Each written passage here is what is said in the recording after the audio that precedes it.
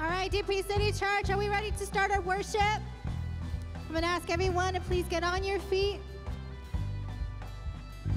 Let's start worshiping the Lord.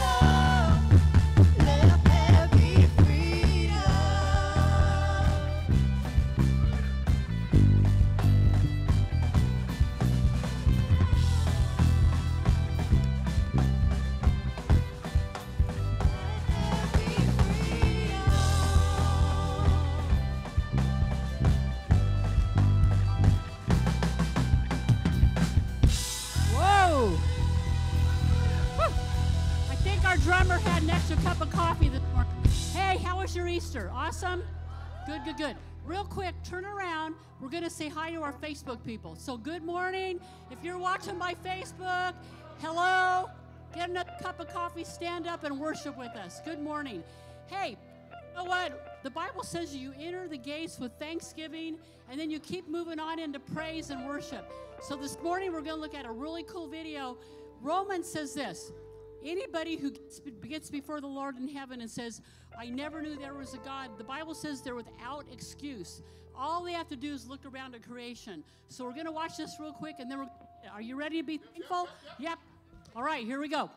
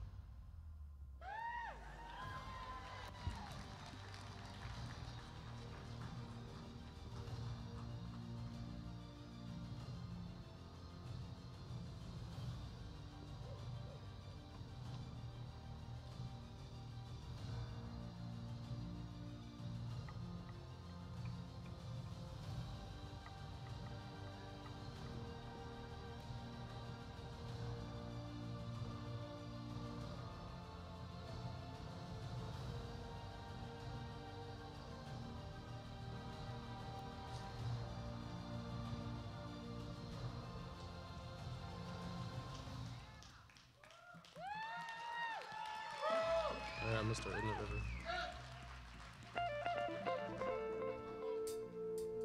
Are we ready? Let's get our praise on to the King of Kings, the Lord of Lords, the one who is, who was, and is to come. Amen.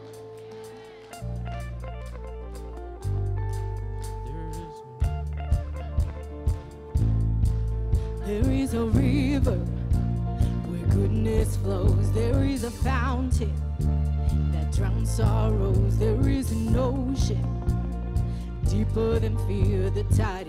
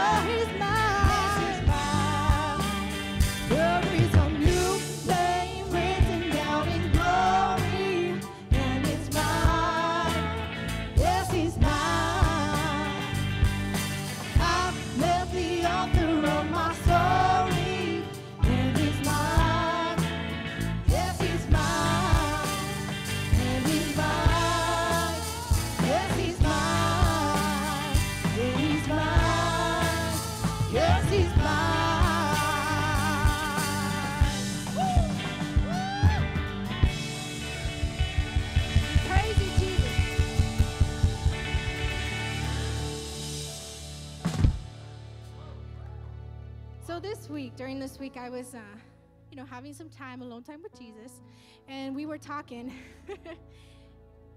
what he wanted me to tell you guys is that he's already paid the price, and he calls you guys his children. Amen. So with that same, um, it's it's such a powerful thing to think that the King of Kings, that the Lord of Lords, the creator of all the universe, he calls you his child. How amazing is that? How can That's that's amazing. And once we realize how much that really means that he would call us our friend, he would call us our chi- his children, sorry. He is ours and we are his and he is in us. Amen. Let's praise him with that same thought in our mind, just thanking him, God, that you have placed your eyes on me.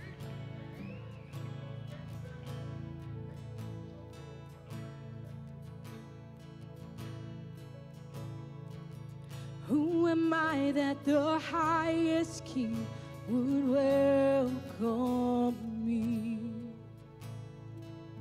I was lost, but he brought me in. Know his love for me. Oh, his love for me. Who the Son sets free. Oh, it's free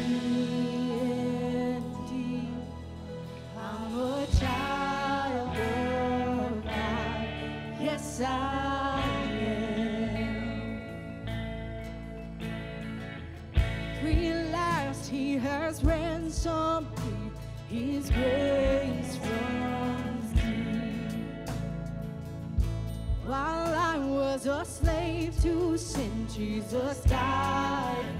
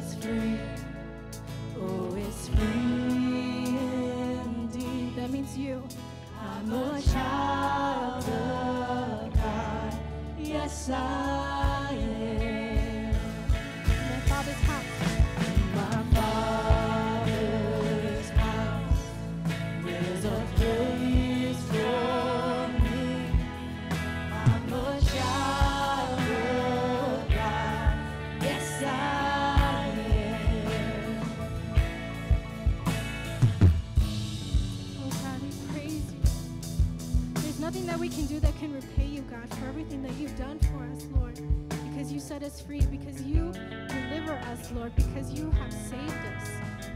We can repay you, Father, but we can give you our praise.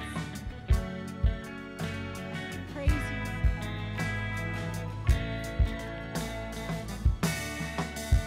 I am chosen, not forsaken.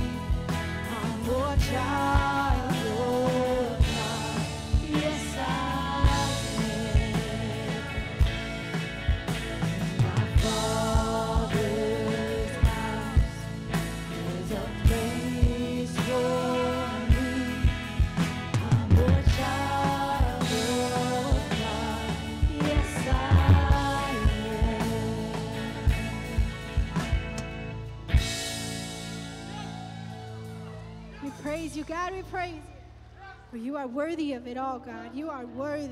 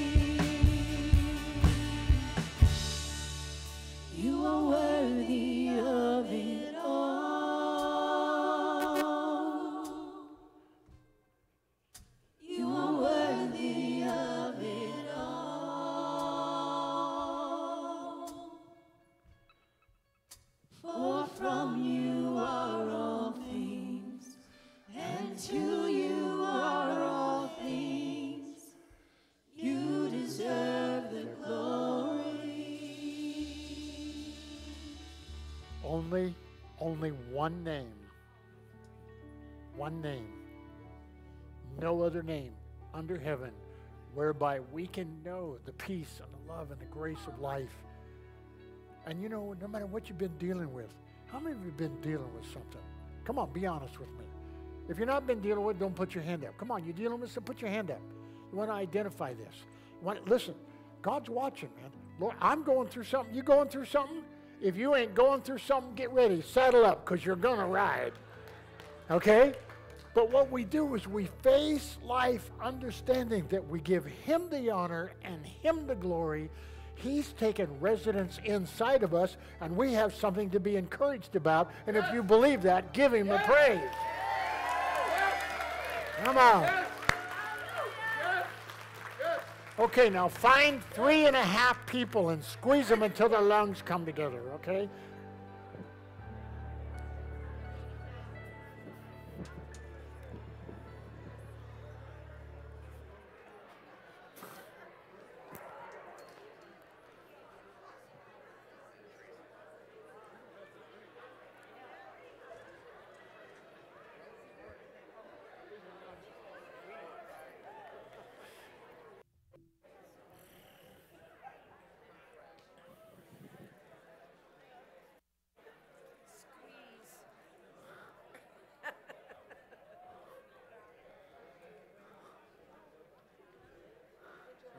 Having a good time this morning? Hey, let's give it up for the worship team. And more importantly, let's give it up for Jesus, the King of Kings. Who was here for Easter last week? We had an amazing Sunday. We had great worship, a great message from Pastor Bob. We had goats, rabbits, chickens, free coffee and donut while Ray and Geraldine, I believe, were driving back from Texas, right? We had 566 people on the property. Now, you want to know why numbers are important? It's not the total, it's the individual. We also had four people come up and give their lives to Jesus Christ. I think there was a few more that stood up as well. New visitors? We have any new visitors? Hold your hand up. Right here. Go ahead. Hold your hand up. We're going to give you a card. You get free coffee and donut. If you just fill this out, take it to the info booth. We're glad you're here this morning. Let's give it up for the new visitors. Who needs a prayer answered? Anybody need a prayer answered? You know, my wife's in the back back there. When she was looking for a husband, she got one of these cards and she goes, I don't, I don't know who that Steve Ryan is, but he's looking good. You know what I'm saying? So just fill out this card. We pray over it all the time. We see miracles. Al, how you doing? How's your health doing? Is your health doing good? Hey, put your hands out to Al. Let's pray for him right now. Lord, I just lift up Al Griffith to you this morning. I don't know exactly what's going on, but I know he's been in a battle physically. We pray healing on him. Isaiah 53 says, By the stripes of Jesus Christ, he is healed. We claim that because of what Jesus Christ accomplished on the cross for Al. And everyone said, Amen. Our next first Wednesday service is May the 4th at 7 p.m. Tori's going to be leading our kids' church. It's going to be a Cinco de Mayo or Fiesta theme. Then Kyle and Sharisa Headley, are they in here? The youth? Kyle, stand up. Where's Sharisa at? Sharisa, yeah, Sharisa. She's doing everything. She's in the back. They're going to be doing campfire worship night with Hannah Folks going to be doing the, the worship for them that night. So that's going to be fun. I'm going to be doing a message called Jesus plus nothing equals everything. Come on. Let me say it again. Jesus plus nothing equals everything. Me and my man Reggie, Reggie Stand Up, who runs three of our groups here, he's going to be doing announcements and offering that night.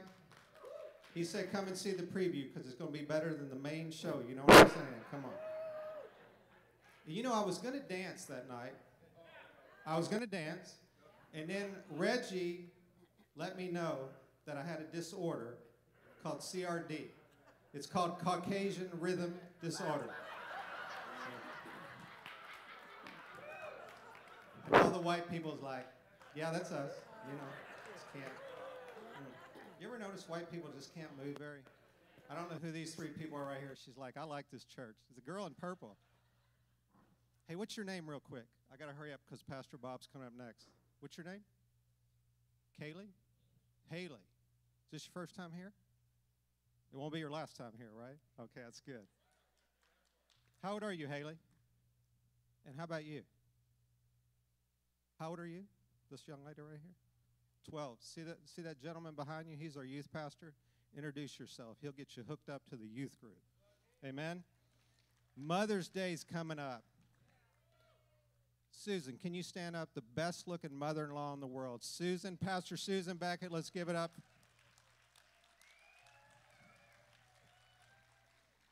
She's got some special gifts that day that she's going to be giving out. She's the, oh, yeah, she's my, well, I was married before, so I did have another mother in law. Most of you don't know I, were, I was married before, but that's another story. Lord, just take that. Uh, okay, here we go. So we want you to invite your mom, stepmom, or someone that's been like a mom to you to church because it's a day to celebrate all moms. Amen? May the 15th is going to be our dessert potluck and connect group launch. So, what we're asking is that you bring a dessert before service so we can have everything set up for after service. It's going to be our existing connect groups and also new groups that are starting. How many of you know we get to better uh, we get to know each other better in circles than we do in rows? And when you get to know each, each other that way, you have deeper relationships. I see people all the time after service get in little groups and start talking. But they also meet through the week. You spend two hours on a Sunday morning at church. The question is, what are you doing with the other 166? Now, I'm going to show you an example of Christian and Sarah Tikas. Christian, can you put your hand up back there? They did an event last week, the day before Easter, called City Serve. They had 60 plus volunteers who worked on six different projects throughout the city, and they finished by noon. Isn't that amazing? Let's give it up for them. So, we're going to show you this video real quick, and then I'm going to do the offering.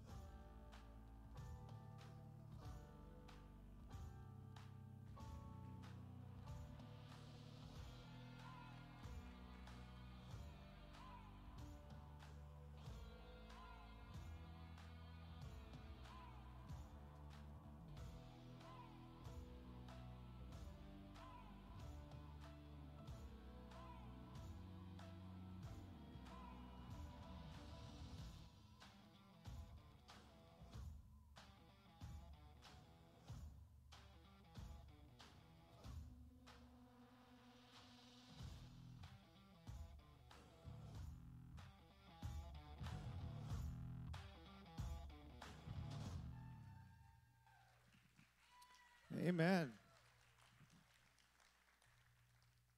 And by the way, everyone in this room is a mobile minister. No matter what you do for a living, you always should be ministering for Jesus Christ. Romans 8:28 says this, and we know that God causes everything to work together for the good, for the good of those who love God and are called according to his purpose for them. The verse does not say everything is good it says it works together for good. Have you ever been in a situation you went, there is no way, Megan's smiling over no way this situation can turn around? Raise your hand. Is anyone in a situation right now where they're like, there's no way it can turn around? That definitely applies to our finances. I'll just give you a personal example with me and Suzanne. Has anyone in here struggled with debt, like right now? Who needs a miracle from heaven? We're going to believe that. For seven years, man, me and Susan, I'm telling you, debt. You know, when you just feel like you're underwater all the time, like you can't, you just can't breathe. Seven years. But we kept giving, kept giving tithes, kept giving offerings. And I would have times, I want to tell you, my faith was great. Sometimes it wasn't. I'm just like, God, where are you? Who knows We serve Him no matter what the circumstances are, even if they don't look good. Amen? God is good even when circumstances are not. So we had a miracle happen recently, and the majority of our debt was paid off. Yeah. Just so you know, right after that miracle happened, we were able to pay most of our debt off. Uncle Sam sent us a little bill for $6,115 just the, in the last two weeks, but we were able to pay that off. So let's give it up for Uncle Sam. How many people got an uncle just keep taking that money over and over and over again? So here's the thing I wouldn't change anything about the last seven years because it taught me a lot about myself. And more importantly, it taught me a lot about God. Once again, not everything was good in those years, but man, my God is good. Amen? All right, so if you just stand up, whether you have an offering or not, stand up, hold your hands up. After I pray, where you guys can come up, drop your offerings in these baskets that we have. Lord, I just thank you for each and every person in this room. We're praying blessings, and if they need a miracle, Lord, we're praying a miracle from heaven. Jesus Christ, you sit at the right hand of the Father. You are the open window. You are the miracle. We pray this in the name of Jesus Christ. And everyone said, Amen.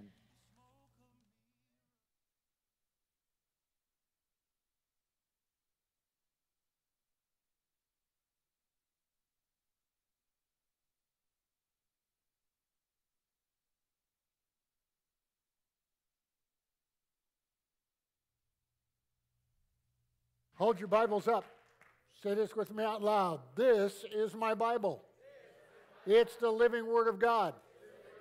Has the power to change my life and the life of those around me. And I declare by faith that our lives will be changed today by the living Word. Give Jesus a praise. Anybody want to guess where I'm going today? John, yeah, how'd you guess? Gospel of John. Why don't you just go to 14, chapter 14 for the fun of it, and let me start something here today. Um, if you're new in our presence and with us today, we welcome you and we appreciate you being here. We want you to be blessed. We're Bible believing people. If you're watching by Facebook, new people are coming in. Wherever you are, we, we believe the scripture, it's all true from Genesis to maps. And it can change lives. But I want to make some opening comments today because I'm going to start a series. And um, when I make these opening comments, I want you to understand that uh, this series of teachings is about what took place after the resurrection. Last Sunday, we celebrated the resurrection. But this, this teaching, we're going to deal with what literally took place and what were the spiritual implications of post resurrection leading to Pentecost. And if you grew up in a mainline denominational church, the word Pentecost sends shivers down your spine because you think somebody's going to try to take your tongue out of your head and wag it. Let me start out by saying tongues is one of the nine gifts of the Spirit word of knowledge, word of wisdom, discerning of spirits, tongues, the interpretation of tongues, prophecy, gifts of and gifts of miracles, and workings of faith. Nine gifts of the Spirit. One of the nine. It is not. It is not the only evidence of what took place after the resurrection. So, when I use the term Pentecost throughout this series, don't go off on a little tangent. I've said to you throughout the years now, John 13, 14, 15, 16, and 17 are the epicenter of the Old Testament and the New Testament. From Genesis 1 to the end of Revelation 22. And you know that I've said that over and over and over again. To miss what happens, however, in the 50 days from the resurrection to Pentecost to miss those days of preparing ourselves for what's coming in the future and preparing ourselves with what happened after the resurrection that the resurrection purchased. The resurrection of Jesus purchased more than salvation. Way more than salvation. It wasn't just about eternal life, it's more than a ticket to heaven. And what you'll learn if you go with us in this series, what we're going to learn is what happened post resurrection that the resurrection purchased that's still happening today. And to understand that, that as I've said to you, watch what John 14 says, verse 15. If you love me, these are the words of Jesus, keep my commandments. Now watch what happens. Did you give verse 14 and 15? Oh, 16. And I will pray the Father. Now watch what he says. This is just before, this is the night before he's resurrected, I mean, uh, uh, crucified the next morning. Watch what he says. And I will pray the Father, put your name in there, and he, he, not you, you're not the Father, but for you, and he shall give you, say, I'm a you, give me, say, I'm me, watch it, another comforter. Somebody other than Jesus which is another to do what Jesus did, now continue the doing of. And that is, in fact, the person of the Holy Spirit. Verse 15, watch, take me back to 15 if you can, media, if you would. If, everybody say if, is a condition. It's a stipulation that if you do this, he says, I, give me verse 16. Watch what he says. He says, And I will pray the Father, and he will give you another comforter. Okay, and that's important. That he may live with you how long? With you isn't there, it's here. Jesus is there, Jesus is not here. The Bible says Jesus is right now seated at the right hand of the Father. And the Spirit of Jesus is the Spirit of the Holy Spirit and is right here, present right now. But Jesus isn't here. And people are going to get all wound up on that. And if you want to get wound up and discuss it with me later, I'd be happy to do that with you. But just stay with me for a moment. And we can understand that the implications of forever are staggering if you understand that all that the resurrection purchased follows after the resurrection. Everything that the resurrection purchased for you and I and his sacrifice for us purchased something for us now here in this life. And with that in mind, we're going to investigate the 50 days. Because those 50 days changed the world. The resurrection changed us. Did you hear that? The resurrection changed us, you, me, when you accepted. But it was what took place in that 50 days that would change the world and is still changing the world where people understand what it's really about. With that in mind, we're going to investigate those 50 days in the coming weeks because we're moving towards Pentecost. A verse that I have alluded to during this series and will allude to is 1 Corinthians, watch this verse, chapter 3, verse 15. But if the work is burned up, now here Paul is talking about the works of our life what we do with the resurrection that was provided from the resurrection to Pentecost. Resurrection, purchase, the 50 days, and the encounter with the Holy Spirit. He's now talking about what you and I do with it. It's called works. How do we apply it? So listen again. But if the works is burned up, the builder will suffer great loss. Listen to what he's saying now. This is powerful because if you don't get this, you won't get the series. But the builder suffers great loss. You and I can actually lose what belongs to us if we don't understand what took place in the 50 days. That something was provided and we can actually suffer a loss. But he says, now listen again, I'm going to read the whole verse. But if the work is burned up, the builder will suffer great loss. The builder will be what? Who's that? Come on. Who's that talking about? You. Me. Saved. Are you saved? If you ain't saved, we can solve that right now. Okay? Okay, but we'll do that. Okay, so watch what he says. But if the works be burned up, that means what you do with your life, what I do with my life, understanding what took place in the 50 days. What I do, you do with your life can be burned up and we can suffer loss. One day, everything you and I do with our life is going to be torched. It's going to be put to the fire. And what was done for the right reason, for the right purpose, and the right goal will survive. Everything else goes, it is gone for eternity. Boy, you got a sober look on your face. Oh, my goodness.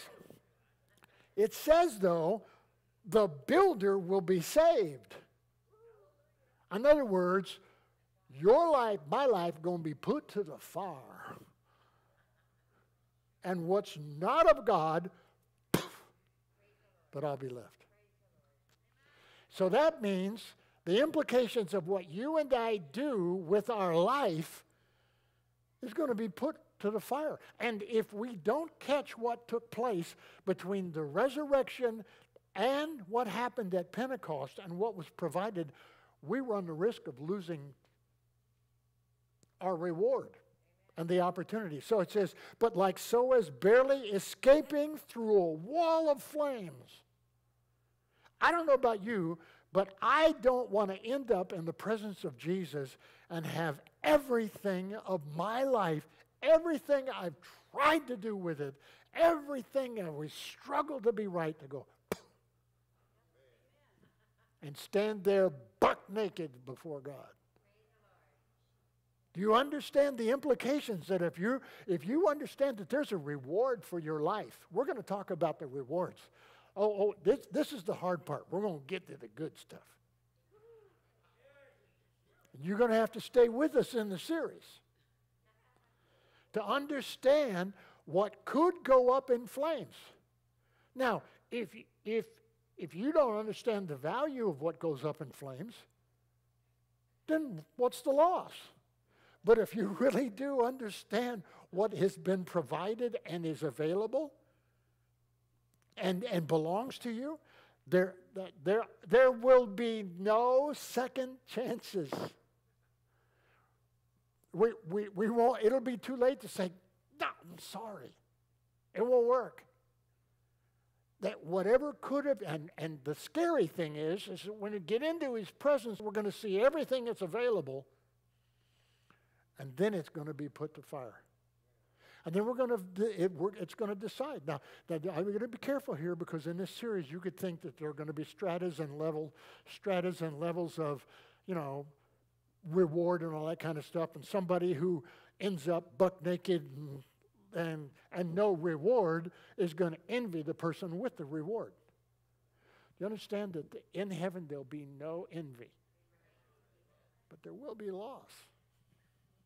And if you stay in the series, you can understand it'll begin to make sense why you live your life the way you live your life and why you go to the church you go to. Whether it's this one or anybody else, if it's preaching the word and preaching the truth, you understand that that that oh,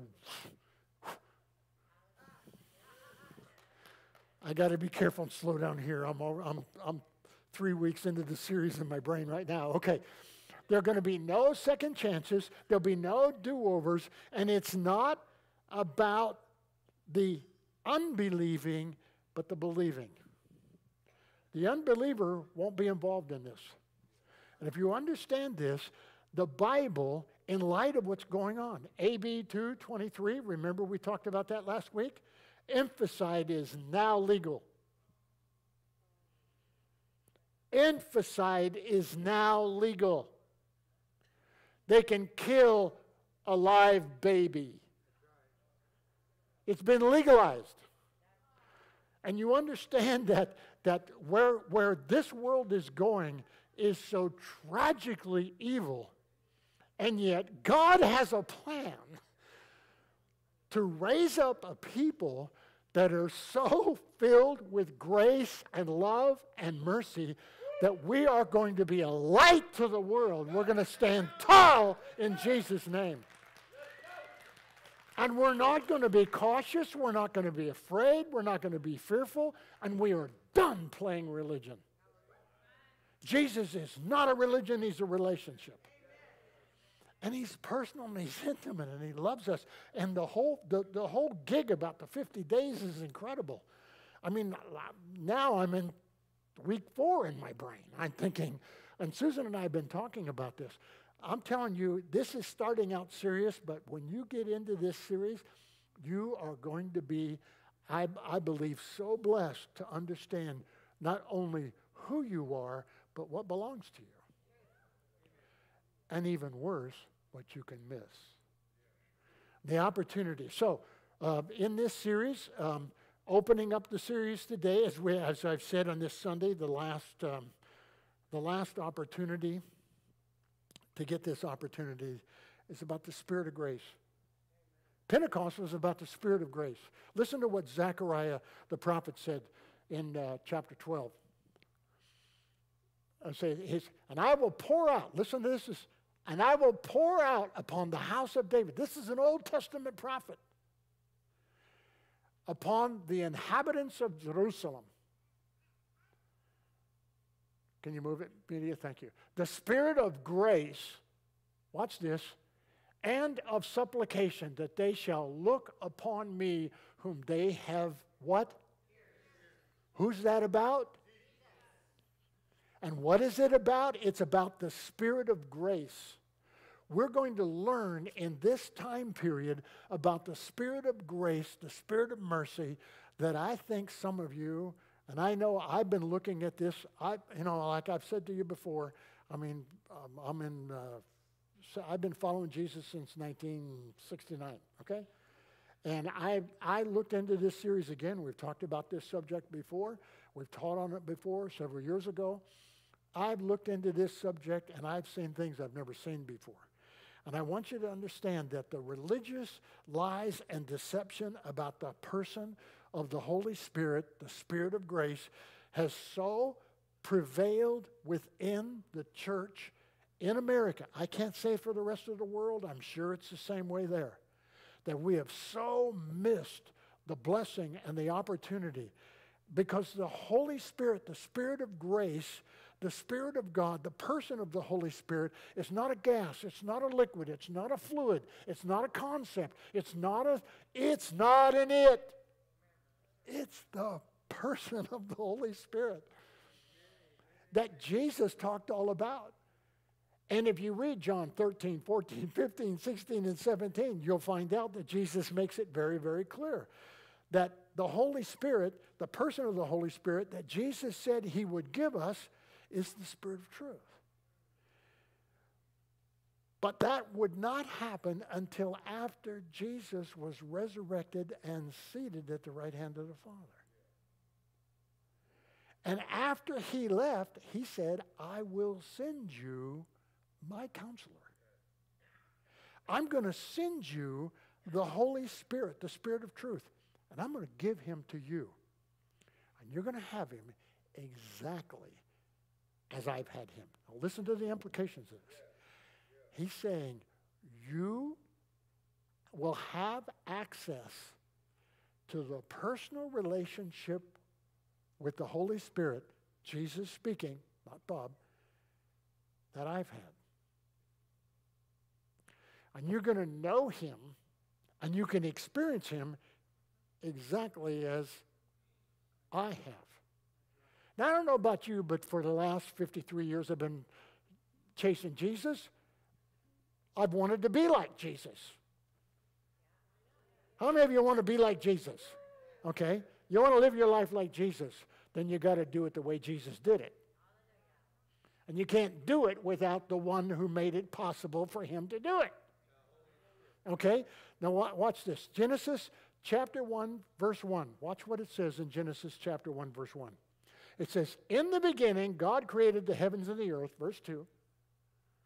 And the earth was without form, and darkness was upon the face of the deep, and the Spirit of God brooded upon the face of the water. The Spirit of God, that's the person of the Holy Spirit that empowered Jesus as one of us to do what Jesus did for us. Do I need to say that again?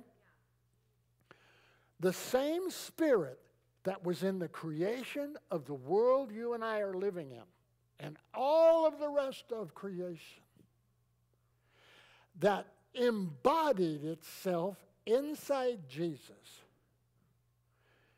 has now been made available to you and I. If that, if that doesn't get your fire started, your wood's wet. Okay? You got to understand that John John 13, 14, 15, 16, and 17 are the epicenter. The Old Testament leads to the epicenter. The epicenter leads to the 50 days and the rest of where you and I are living today. And a relationship with the person of the Holy Spirit. To know who He is and to know how Jesus walked with him and fellowshiped with him and had a relationship with him and the epicenter of the Bible and what he makes the commitment. Listen to what John 14, 26 says. It says, But the Comforter, who's that? That's the Holy Spirit. The, the, the Greek word is parakletos. It means the counselor, the advisor, the attorney Listen, it doesn't mean defense attorney. It means the legal counsel. Watch this. And the comforter, which is the Holy Ghost, whom the Father will send in my name. He will what? All th- what are all things? That's everything that belongs to you. Now watch what happens.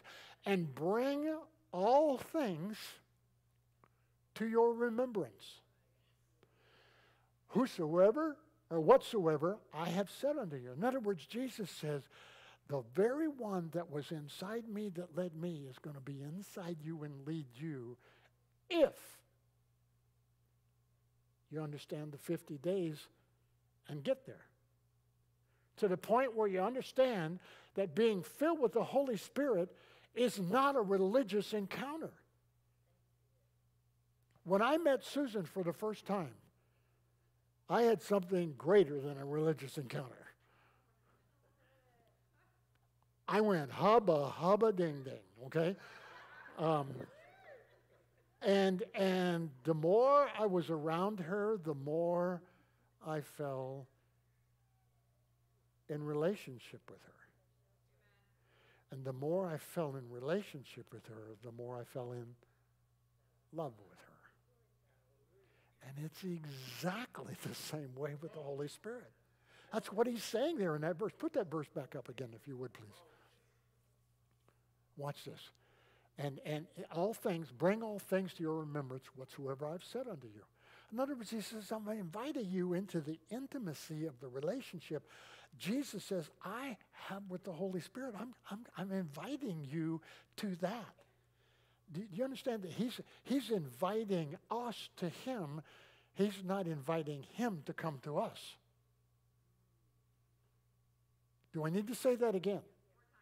In other words, God is a perfect gentleman. He doesn't go where he's not welcome. So, in other words, you invite him in. You give him that opportunity. And when you understand what took place in the 50 days towards Pentecost, you understand, you will begin to see how intimately relational the person of the Holy Spirit is. Jesus transferred us to his personal counselor. He said, Bob, I'm going to give you Susan, Larry, Mary, Joe, whatever your name is. He says, I'm going to give you my guide, my counselor, and while doing for us what you could not do on your own. Make possible for you to live the life you know you need to live that you know you can't do without. I'm going to say something dangerous. Turn to your neighbor and say, This is dangerous. Okay, here goes.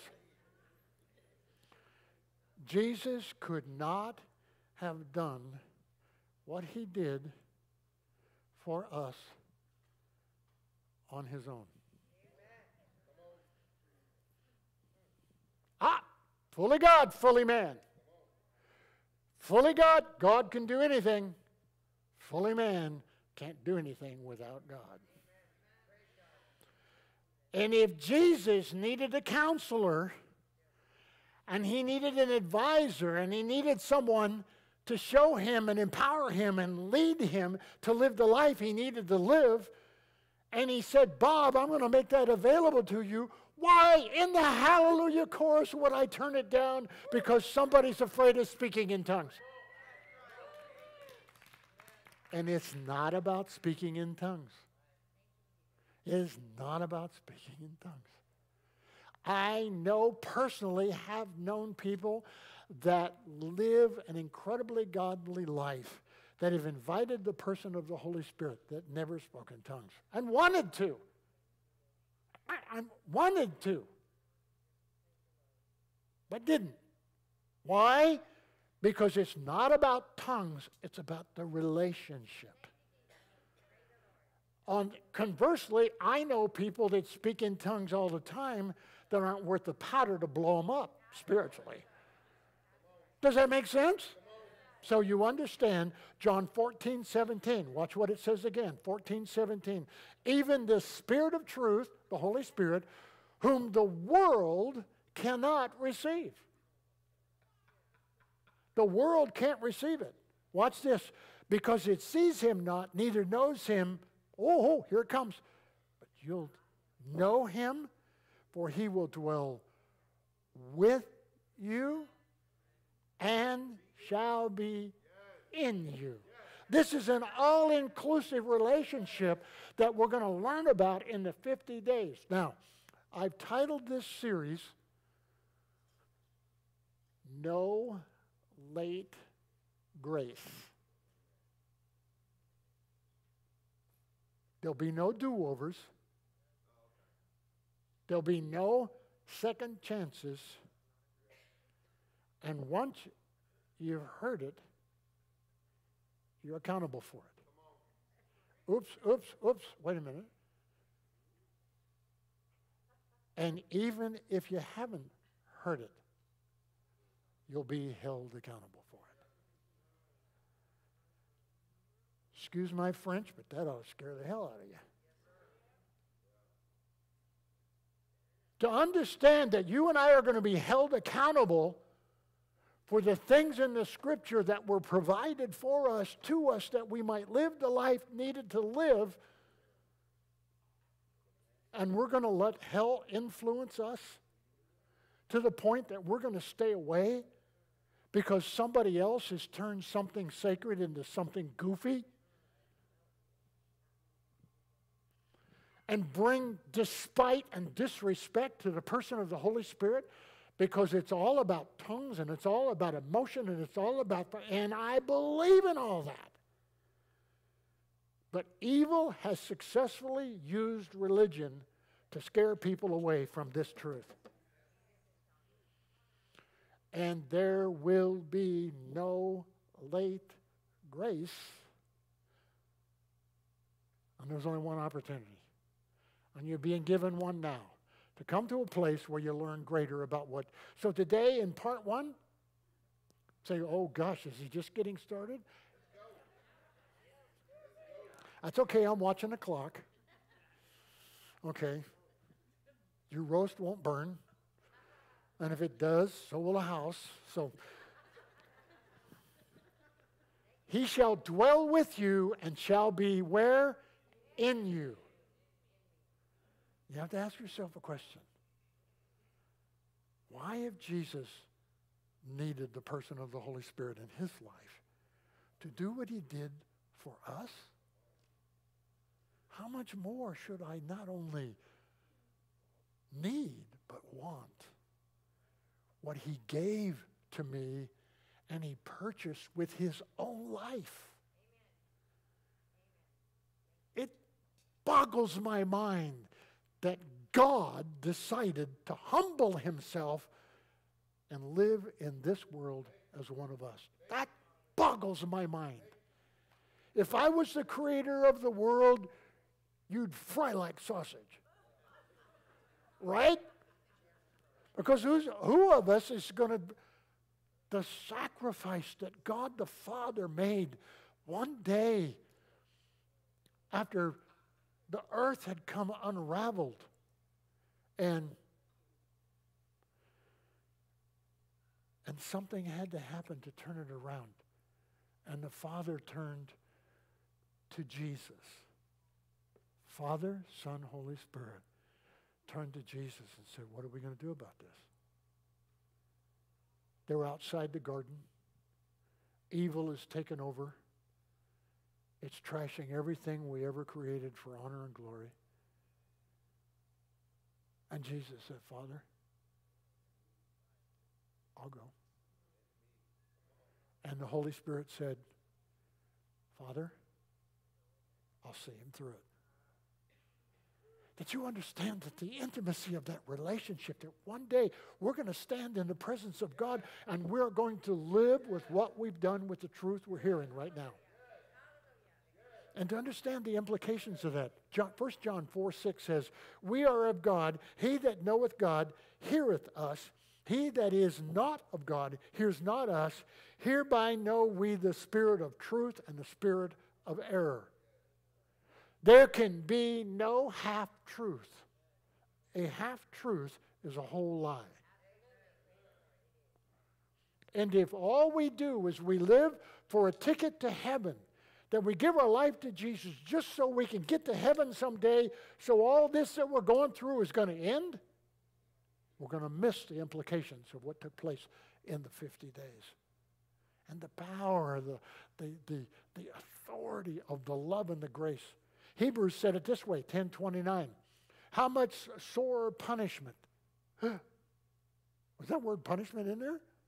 Suppose ye shall he be uh, shall he be through uh, thought worthy who hath trodden underfoot the Son of God and hath counted the blood of the covenant wherewith he is sanctified, sanctified an unholy thing and hath done spite unto who?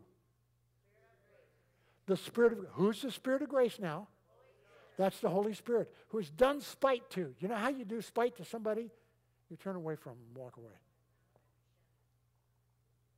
or when they talk to you, you engage somebody else in a conversation while they're standing there. If you understand the implications, you just saw it on television here last week, where the President of the United States was rebuffed by a former president.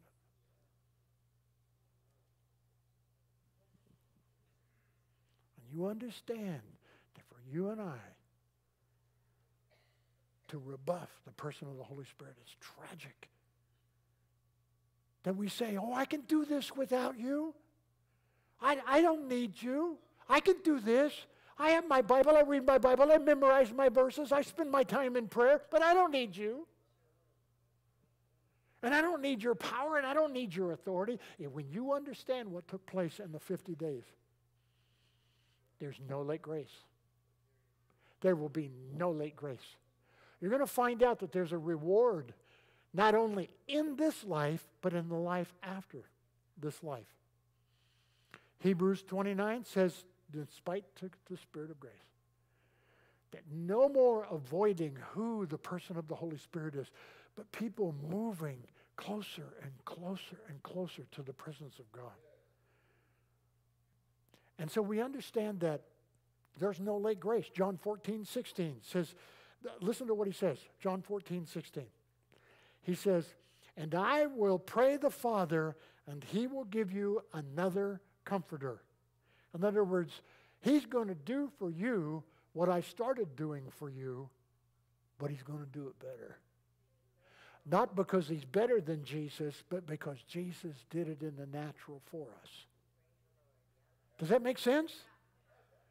That it becomes a personal relationship. And uh, it, John 14, 26 is there says that word uh, another means literally this the remainder of, the quantitative of, measured not by quality, but by quantity. It's how much we yield to the person of the Holy Spirit. And we understand that, you know, you, I mean, if you haven't yet learned to talk to the person of the Holy Spirit, you can do that. Holy Spirit, we just call upon you. Holy Spirit, I'm here uh, doing this situation, circumstance, and I don't know what to do. And you know what? I don't know whether I sign this contract, and I don't know who I'm speaking to. I don't know whether I sign this contract or I don't sign this contract. But you're my counselor, and I want you to tell me what to do. And you know what he will? He will if you know him. But if you rebuff him and you hold him off at a distance and you expect him to show up at your demand, oh, I'm meddling now. We were, we, we were going for the first loan on the property. Remember that? We were at the original bank. Remember the original loan? We went to, we were in the little dairy, and which is the children's building now. We needed to, to take out a loan, and uh, and so Susan and I were at the bank and with the loan officer, and and um, I just said, I think it was two hundred and fifty thousand dollars. It's a quarter of a million dollars to remodel the old building, the dairy, and uh, not this building. And we're sitting there, and I turned to Susan, and it, I think I got this. She she remembers every single word. Brothers, you have a wife like that? She got all the words. Okay, it kind of went something like this. I don't think I can do this. I, I don't think I can sign this. I, no, there's no way I can sign this. And the bank gets a call. The bank gets a call from Gary Greenwald, pastor of Eagles Nest Church. This was 70s, late 70s. And, and he, the, the bank officer says, You have a phone call. What? I have a phone call? Some guy by the name of Gary? Gary Greenwald? What? How does he even know I'm here? Okay. I took the phone and I said, Hi, Gary, what's up? And he goes, Whatever you're about to do, the Lord says, Go ahead and do it. I looked, it's right. Isn't that true? We got where we're at right now and you understand that you have a personal relationship with the Holy Spirit that will counsel you and weave you through circumstances and situations as long as your heart is open and you're willing to listen. This is not, this is not just about having a new buddy in your life. This is not just a new friend. Hey, guess who I met? This is somebody who slips into your life and brings a, a, a peace and a comfort in a world that's going to hell in a handbasket. And there is grace and there is mercy and there's love and you feel his presence. And in this series you're going to learn what took place. That the resurrection of jesus purchased more than your salvation. That was only part of it. He purchased your right to have a relationship with his own personal counselor to, to, to know him in a personal way and there's going to be no late grace There'll be no late grace on this one. So for the days ahead, we're in this series as we move towards the day of Pentecost. John 14, 16, one more time. There says quantitative. In other words, you can have what he had. Now, I'm going to say something that my theological brothers and sisters may challenge me on, but that's okay. I just personally believe it. You have to make a decision. So now you've been told to have a relationship with the Holy Ghost. You let him tell you whether this is true. That the reality of this is so crucial that you understand that what God is about to do in this world, I said to you last week and the weeks before in the previous series that I think it's possible. Everybody say possible. That that was the last Easter we will celebrate here. There's a very serious chance that by next April, we may not be here. And, oh, yeah, it sounds good. Are you ready to go? Oh, I'm ready. Take me out, leave my pile of clothes, and I'm out of here. Okay. Oh, that's a that's a vision I don't want to look at. Okay. Okay. This is critical to understanding the 50 days and the resurrection that led to Pentecost and what Pentecost is really all about. And I caution you to no longer see Pentecost from the speaking in tongues platform. And that is a part of it. But it is not the core, it is not the platform. It's the person of the Holy Spirit. And you not pick and choose the, the event that you want, you take it all. You take the death, burial, resurrection, and gift of the Holy Ghost, as Jesus said in John 13, 14, 15, 16, and 17. He made it very clear. You go back and read it from that perspective. They must have understood in the light, we've got to understand the relationship in light of one another the Father, the Son, and the Holy Spirit in the Trinity that you and I hold sacred. That we understand that Jesus, as just as the cross must be viewed from the resurrection. Listen to what I'm going to say. I'm going to finish with this this morning. Just as the cross must be viewed from the resurrection. For the cross is meaningless without the resurrection. Then the resurrection should be viewed from Pentecost. You view the crucifixion from the resurrection the resurrection from Pentecost and Pentecost from your own personal encounter. Do you understand the weight of that, the implications of that?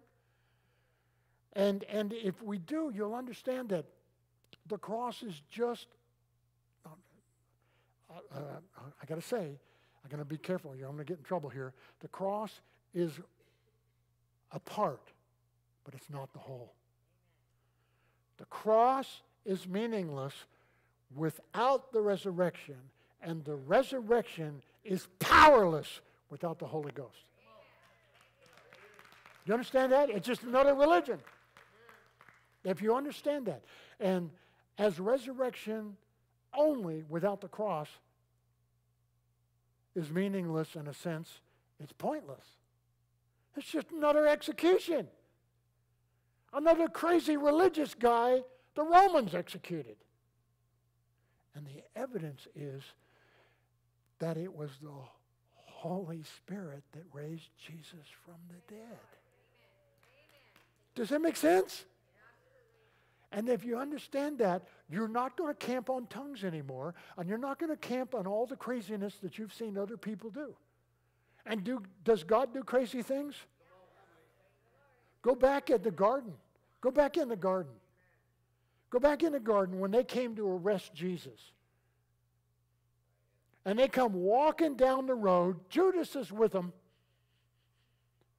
And Jesus says, Hi, guys. they all fall down. Soldiers, I hope they didn't fall on their sword, okay? You know, they all fall down. Judas included. Judas was with them. Why did they fall down? Because they couldn't stand up.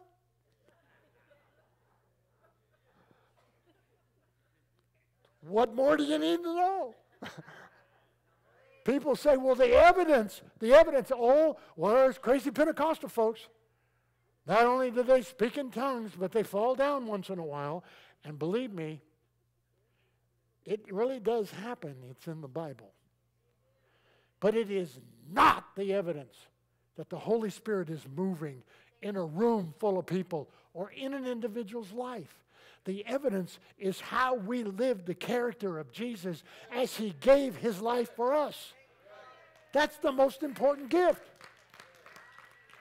If you can speak in tongues and can't control your character, what's the point? Does that make sense? That you understand that it's coming to the power of the person, and as the resurrection only without the cross is meaningless and pointless, accepting the cross and the resurrection in the light of Pentecost can explode inside your life can become real to you and you understand that it doesn't make you goofy, but it does make you different. You think from a different place, you act from a different place, you live different than you used to be.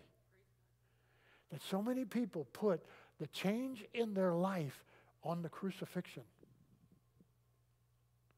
And it's not that if you don't embrace the person of the Holy Spirit, it's not that your life won't change. It will. Some of you in the room right here have never asked for this third relationship. And I understand why. Actually, makes good sense until you understand what I'm talking about. And you understand that that Jesus purchased for you and I the right to know the person of the Holy Spirit that moved in to the tomb raised Jesus from the dead and came into your life and my life and took you from death to life on the inside. You were born again. But now are you ready to enter into that relationship? Are you ready to say, I want, I want this? I, I, I, and I know, you, I understand your fears. I understand that. I understand your concerns. What's it going to do to me? What's it going to make me do? Or, you know, am I going to lose control of my life? No. God's a perfect gentleman. He'll never take total control of your life. He doesn't do that. He just simply comes in and says, I want to be an influence in your life.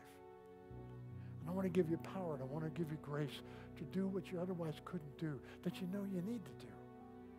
And I want you to feel my presence and my love, he says, and I want you to know that I'm there with you. And no matter what's going on in the world, deep down inside you, you can have a peace that Jesus said passes all human understanding. He said, Jesus said, My peace I give unto you. Not as the world gives, give I unto you. Let not your heart be troubled, neither be dismayed. In my Father's house is a mansion.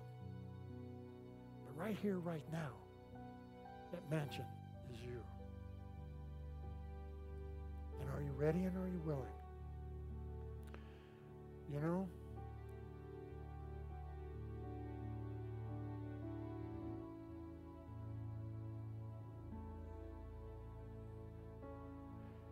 if you haven't said, I invite your Holy Spirit to come into my life the way you did into their life at Pentecost. But you understand the 50 days Jesus sent them for that encounter. And we're going to learn about what took place in those 50 days. If you want that encounter, and you've never said, I want to be filled with the Holy Spirit. Want him to come into my life if this is what it's really all about. And I want him to come into my life and be that influence. And you've never done that before, stand.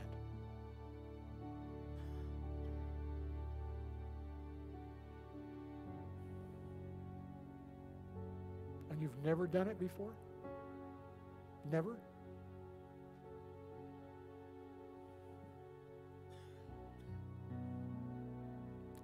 This is not an arm twisting. I, I don't get a reward for this. God's not counting numbers. But if you want that, I'll give you one more shot. Because some of you, I can hear some of you thinking, what's he going to do after this? Is he going to make me come up there? No. You're going to stay right where you're at.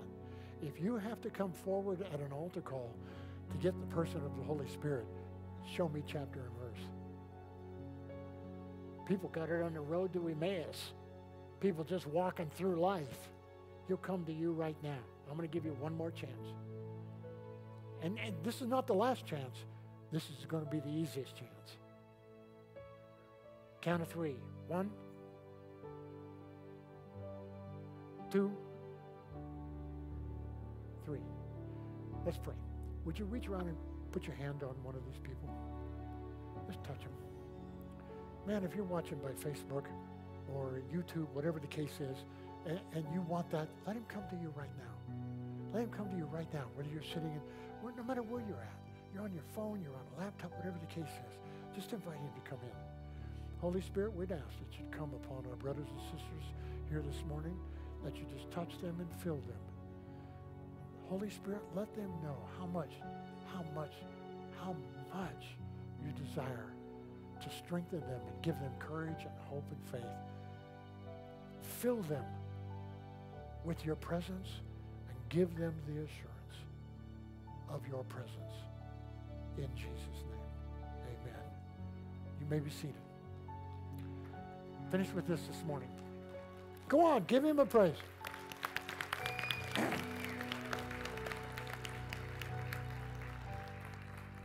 Stick with us in this series because the title of the series is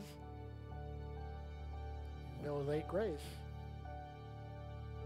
There's going to be an opportunity where grace is off, you're going to end up with what you end up with. So, as we go from here today and we go and we share love with one another, hopefully you picked up something about who you are and how much He loves you and how much He cares for you. And one of these days, He's coming back. And when He comes back, He's going to take us home. And we're going to be in His presence. We're going to be in the weight, the glory of His presence. And I'm going straight to the no guilt buffet. I mean, come on. Isn't it true? It's going to be happiness. It's going to be joy. It's going to be peace. It's going to be glory. It's going to be the weight of His presence. There's going to be no pain, no grief, no sorrow, no suffering, none of the garbage that the world throws at us. But until then, we're going to live His presence in Jesus' name. Give Him one more good praise.